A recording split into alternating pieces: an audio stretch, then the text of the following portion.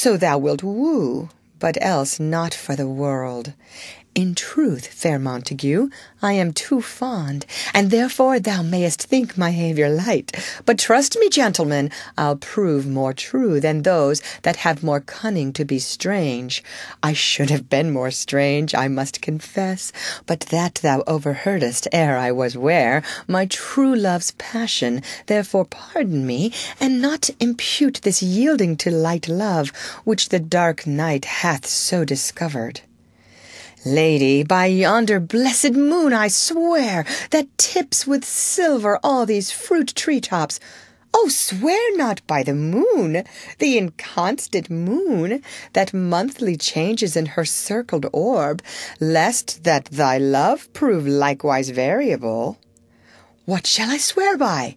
Do not swear at all, or, if thou wilt, swear by thy gracious self, which is the God of my idolatry, and I'll believe thee. If my heart's dear love, well, do not swear, although I joy in thee. I have no joy of this contract tonight. It is too rash, too unadvised, too sudden, too like the lightning, which doth cease to be ere one can say it lightens. Sweet good night. This bud of love by summer's ripening breath may prove a beauteous flower when next we meet. Good night, good night, as sweet repose and rest come to thy heart as that within my breast. Oh, wilt thou leave me so unsatisfied? What satisfaction canst thou have tonight? The exchange of thy love's faithful vow for mine. I gave thee mine before thou didst request it, and yet I would it were to give again. Wouldst thou withdraw it? For what purpose, love? But to be frank, and give it thee again, and yet I wish but for the thing I have, my bounty is as boundless as the sea, my love as deep. The more I give to thee, the more I have, for both are infinite. Nurse calls within. I hear some noise within. Dear love, adieu. Anon, good nurse. Sweet Montague, be true. Stay but a little, I will come again. Exit above. Oh, blessed, blessed night! I am afeard, being in night, all this is but a dream, too flattering sweet to be substantial. Re enter Juliet above. Three words, dear Romeo, and good night indeed. If that thy bent of love be honourable, thy purpose marriage, send me word to-morrow, by one that I'll procure to come to thee, where and what time thou wilt perform the rite, and all my fortunes at thy foot I'll lay, and follow thee, my lord, throughout the world. Within, Madam, I come anon. But if thou meanest not well, I do beseech thee. Within, Madam! By and by I come. To cease thy suit, and leave me to my grief, tomorrow will I send. So thrive my soul. A thousand times good night. Exit above a thousand times the worse to want thy light. Love goes toward love as schoolboys from their books, but love from love toward school with heavy looks. Retiring.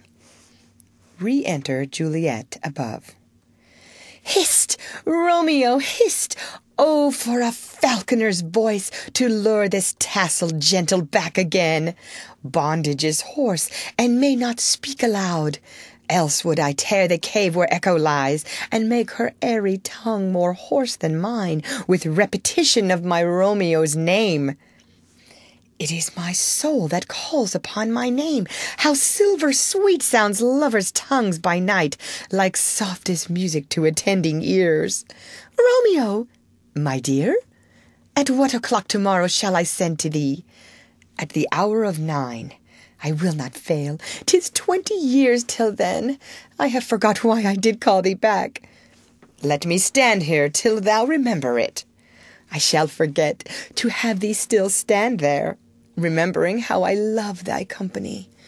And I'll still stay to have thee still forget, forgetting any other home but this. 'Tis almost morning.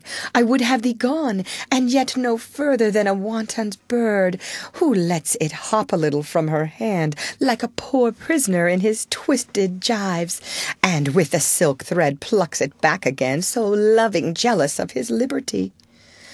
I would I were thy bird.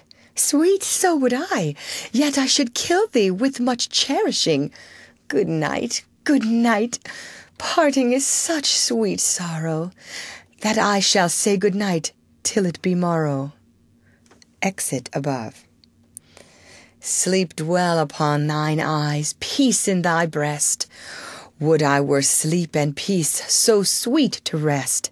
Hence will I to my ghostly father cell His help to crave, and my dear hap to tell. Exit. End of Act Two, Scene Two. Read by Lorraine Montgomery for Lit2Go on the web at fcit.usf.edu.